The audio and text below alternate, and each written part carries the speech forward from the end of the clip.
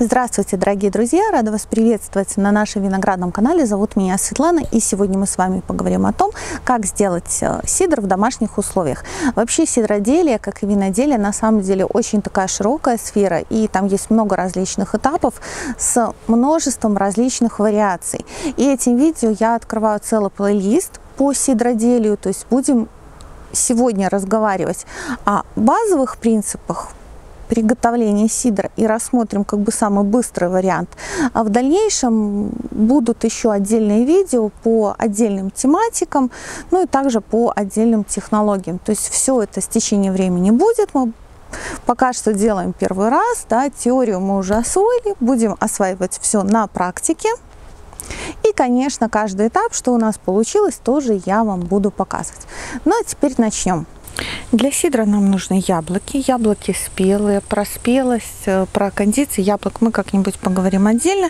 Сейчас рассматриваем технологии. Итак, нам нужны яблоки. А, мы их собирали из земли, поэтому мы их обязательно моем. Здесь они у нас как раз в водичке. Даем им обтечь, для этого мы используем вот такой вот ящик. А, конечно же, перебираем, да, убираем все гнилое, все некачественное и измельчаем. Здесь я вам показываю один из а, самых распространенных способов измельчения. На самом деле не самый лучший. А, по измельчению вообще сделаем отдельное видео. Буквально в ближайшие дни расскажем наш опыт расскажем, что будет наиболее эффективным. И также забегая вперед, скажу, что если у вас нет пресса, то может быть лучше даже использовать обычную бытовую соковыжималку. Из-под мясорубки у нас получилась вот такая масса. А теперь мы ее закрываем. А, ну, смотрите, желательно, чтобы емкость немножко не полная и, в принципе, чтобы меньше окислялась а пищевую пленочку вот сюда плотненько я укладываю и помещаем примерно на 8 часов в прохладное место. Какое? Ну, идеально, конечно, было бы градусов 8-10, но мы помещаем в то, в которое возможно. У нас это подвал. Вот эта наша масса постояла, ну, честно говоря, по времени у нас получилось даже больше, получились э, сутки. Теперь мы все это будем прессовать, и для удобства в прессе мы используем фильтровальную ткань. Ну, в принципе, так удобнее, так потом гораздо проще мыть, и качество сусла также получается лучше. И вот оно, наше сусло пошло. А теперь делаем измерение параметров нашего сусла. Очень важно, мы измеряем сахар в сусле не бродящем. Если оно уже начало бродить, у нас будет погрешность. Измерять мы можем рефрактометром, вот он там лежит на досочке, и а, вот таким прибором, который называется ареометр. А, он показывает плотность. А, рефрактометр нам правильные цифры покажет только в начале. При помощи этой штуки мы даже можем отслеживать скорость брожения. Итак, опускаем. Аккуратненько. Единственное неудобство, что нужен вот какой-то э, цилиндр. И смотрим плотность примерно получается 1,45. Рефрактометр у нас показывает порядка 12 брикс. Ну вот левая шкала показывает якобы 6 потенциаль, потенциального алкоголя, но мы сейчас пересчитаем по нашей формуле. Ориентируемся по этой таблице. А, смотрите, мой прибор, он будет гидрометр. То есть мы смотрим показания по гидрометру, по реометру там просто немножко цифры другие шкала. Итак, мои показатели 1,045, желтенькая колонка, 5,5 алкоголь. В принципе, а, рефрактометр показывает практически то же самое. И для тех, у кого нет никаких приборов, скажу вам сразу, что сахаристость яблок, вот несколько партий мы опробовали, она плюс-минус вот такая вот, между 11 и 12 процентами. Ну, конечно, может быть что-то больше, но а, плюс-минус вот такая, поэтому на эти цифры можно ориентироваться. И важно, крепость сидра 5-7 процентов. То есть в нашем случае добавлять сахар нет никакой необходимости.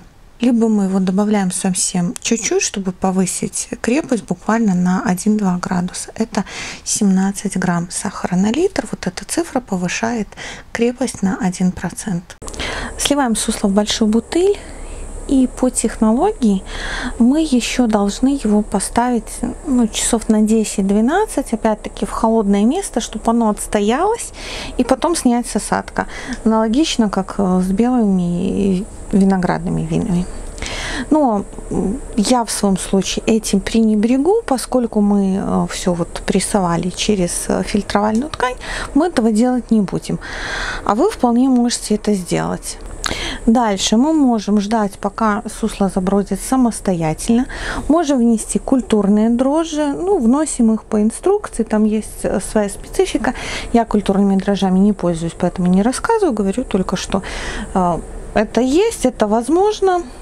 Я же э, использую свою дрожжевую закваску, которую я сделала заранее. Вот такая у меня баночка. Здесь тот же яблочный сок, он уже несколько дней активно бродит, и я сейчас просто его вылью в общий объем. Устанавливаем гидрозатвор и перемещаем в прохладное место. Чем ниже температура, тем лучше. Ну, конечно же, все по возможности. С момента постановки на брожение прошло чуть больше двух э, недель. Брожение сильно замедлилось. Э, вот сейчас мы переместили в тепло и э, пошевелили бутыль, да, затвор вот стал булькать, а так просто стояли уже разные уровни. То есть брожение стало замедляться. Здесь я что хочу отметить. Стилистики сидров очень много, а, вариаций очень много. Можно ждать, пока полностью выбродит, а, потом ставить на карбонизацию, то есть газировать. Можно ждать вообще до весны, когда пройдет там и медленное брожение, яблочно-молочное, и тогда ставить. Мы будем пробовать несколько вариантов. Сегодня я покажу один. В дальнейшем все мои пробы я тоже вам ну, буду показывать по мере того, как мы их будем делать.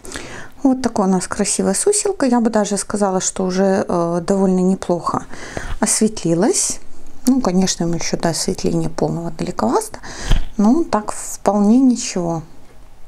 И сейчас замерим остаточный сахар. Получается где-то 1,13 приблизительно. Ну, конечно, нам э, для правильного измерения надо было бы, чтобы сусло было 20 э, градусов. Ну, нет такой возможности, поэтому э, мелкими расчетами пренебрежем. А, при переводе этих единиц в сахар мы получаем слишком большое значение, около трех. А, нам надо ну, желательно 2-1,5, даже от 2 до 1 процента, потому что ну, большой сахар это может быть избыточное давление в бутылке, соответственно, а, могут быть всякие конфузы, поэтому мы еще ждем, еще пусть побродит, но периодически, то есть уже поскольку все замедляется, надо проверять и смотреть этот сахар. То есть в данном случае мы сделаем вариант а, ну вот по аналогии с пятнатом, будет дображивать сидр на своих сахарах. Другие варианты, повторюсь, я потом тоже буду рассказывать. Когда мы дожидаемся нужного количества сахара, мы разливаем все это в бутылки. Можно использовать бутылки вот с такой бюгельной пробкой. А, можно использовать бутылки из-под шампанского. Тогда они укупориваются. Я специально пробку не снимала. Вот такой кронин пробкой. Но для этого нужен специальный укупориватель. Можно ли использовать пластиковые бутылки? Теоретически можно. Если у вас никаких других вариантов нету, ну, про пробуйте в пластике, что поделать. Вот стоят уже у нас а, такие бутылочки, две первых а, на попробовать. И смотрите, температура, вот стала на улице прохладно, 15 градусов. В случае, если а, у вас нет возможности замерять вот эти остаточные сахара нечем, путаетесь с расчетами, либо пропустили момент и брожение остановилось, тогда вы просто снимаете ваше сусло с осадка, добавляете сахар не более 2,2 грамма сахара на литр. Потому что если вы добавите больше, может быть избыточное давление, соответственно, стеклянную тару может порвать. Поэтому вот до этого предела от 1 а, грамма, ну просто газация будет меньше, до 2,2. Сахар вы нормально растворяете в этом же соке и потом заливаете в бутылки. Когда можно пробовать? Ну, примерно недели три нам надо, чтобы постояло. А, вот у этих прошло, наверное, недели полторы. То есть мы дождемся результата, вам покажем. Ну и, конечно, как обещала, в процессе будем рассказывать остальные всякие нюансы, которые касаются сидроделия. Таких пару моментов касательно времени брожения. Э, смотрите, вот эта бутыль, вот эта, она стоит с 19 августа. Сегодня у нас 15 сентября. То есть практически месяц брожение еще идет. Э, для сидров лучше всего использовать затворы вот такого типа, в принципе, как и для всего виноделия. А перчатка здесь будет не показательна. Перчатка будет показывать брожение вот как здесь. Вот оно сейчас буль, булькнет. То есть оно еще на достаточно такой активной стадии. Как только оно начнет снижаться, ну, перчатка уже вам не покажет ничего. Поэтому предпочтительно иметь а, затворы вот такого типа. На сегодня я с вами прощаюсь. Большое вам спасибо за просмотр. Подписывайтесь, ставьте лайки, пишите комментарии. Также напоминаю, что на канале будет а, целый плейлист, посвященный приготовлению сидра. Также на канале есть плейлисты по приготовлению домашнего вина из винограда, по выращиванию винограда. Ну, поскольку мой виноградный канал, то под видео я вам оставляю каталог наших сортов винограда и мои контакты. И до новых встреч!